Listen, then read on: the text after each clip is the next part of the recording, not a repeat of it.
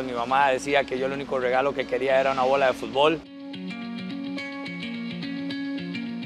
Bueno, creo porque desde niño fue una pasión que tuve, ¿verdad? Eh, resumidas cuentas, mi mamá decía que yo el único regalo que quería era una bola de fútbol. Entonces, eh, es una pasión que nace, ¿verdad? Es una pasión que se trae.